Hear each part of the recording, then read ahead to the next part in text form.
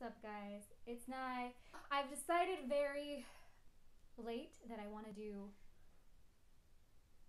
not Vlogmas because I'm probably not going to vlog very much, but a video every day until Christmas. I guess I shall call it Naimas. So the most viewed video on my channel is my story time of when I lived in a haunted house. This is the wrong time to be telling scary stories. Paranormal experiences, part two. Okay, let's get started. First thing I ever experienced was when I was, I mean, you can do the math. I was born in 96, and this was the day Rugrats All Grown Up premiered. And I was watching TV. I was very excited about this premiere. Sat right in front of the TV, like not even on the couch, like right in front of it, like. And my dad used to do tattoos as a hobby. So he was doing a tattoo in the kitchen. My mom was upstairs. We are in this like little dingy apartment. I hear someone knock on the door. I was too short to look through the peephole I was little, and my dad didn't hear it for some reason. So I get up and I look through the blinds in the window, and I don't see anything. I go back to watching Rugrats All Grown Up. Priorities. I hear a knock again, so I go back up to the window to look, and this time they were right in front of the window, and it was like this really big black mass. It looked like it was wearing like a hood, like a cloak, but it had red glowing eyes and like green flames coming from it. And you would think that I'd be terrified, but I was mostly just confused because green flames in my mind didn't make sense. In a confused daze, I go up to my dad. I'm like, Dad, there's someone at the door. He's like, What? He gets up and he looks and there's nothing there. I'm like, No, I swear, I just saw someone right there. Like they were right in front of the window. He's like, No. So I look again and they aren't in front of the window anymore, but I saw them like walking down the street, like down the sidewalk, and then they disappeared. You know, this story sounds crazy. I sound insane. I don't, this is why I didn't want to make this video. I sound crazy. But my mom, my dad, and the whole family can testify to this. I've told this story the same way since I, since it happened to me. Like, I really don't know what that was. And my dad was convinced that it was one of our neighbors or someone crazy trying to pull a prank on me. I could see that happening, but the fire, I it was very real. It was very realistic. I don't know, man.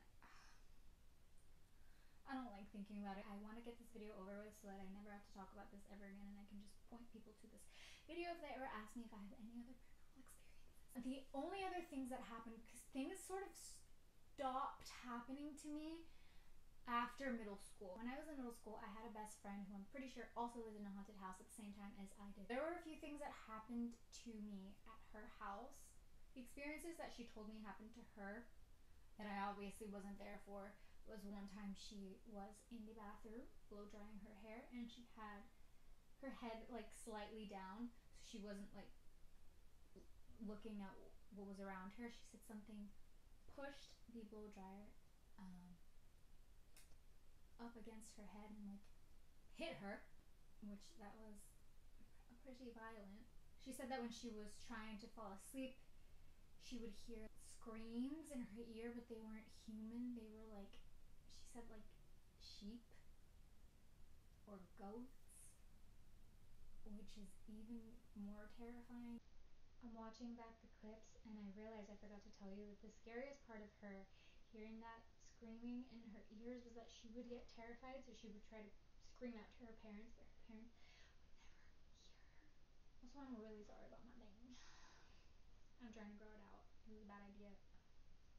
The most significant thing was it all happened in one day. So we were in her room, and the way that her room was set up was that she had one wall. So one of her walls was just completely covered in shelves that her dad made for her. And she had it, she had like books on the shelves, she had her desk, she had a few decorative pieces on the wall. One of the things that she had on her wall, can you guess? It was a porcelain doll. Anyway, so the doll was facing her bed. We put a camera on the dresser, so we were taking pictures aimed towards the wall with all the shelves. Self timer pics. we were done taking our pics. Looking through the pics. Having so much fun. Oh, this is so cute. And then I noticed something strange. Something had moved on the shelves and I couldn't tell what it was. I look down at the camera. I look up. I. I look up. It's the doll. It was the doll. The doll had moved to look in our direction. You could see it in the camera. Neither of us touched it because we were both taking pictures and we were looking at each other the entire time. In the pictures, you could tell that the doll was still facing the bed, and when we looked up, it was facing us. It had turned. It had turned. I was like, "Do you?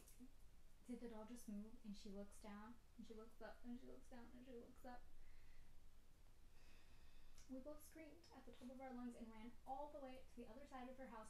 And on the other side of her house, she had one of those things. It's one of those things that you lay on, kind of, and then you go backwards, and it stretches out your back like your your legs and everything. You just like you, you go back.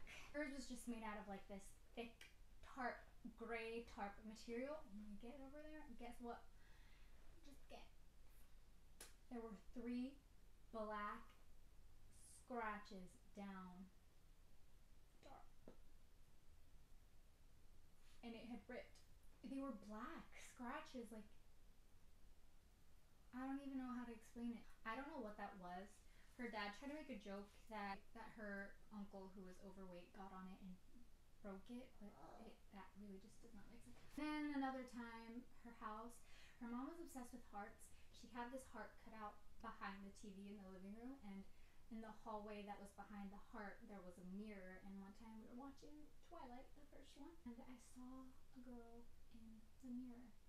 As you can tell, I don't like talking about this. I'm sorry if I'm not being very detailed, but I just want to get this sort of out of the way because I don't want to talk about these things ever again in my entire life. I haven't had like super distinct things happen to me anymore besides just I've noticed that like lights have been flashing a lot.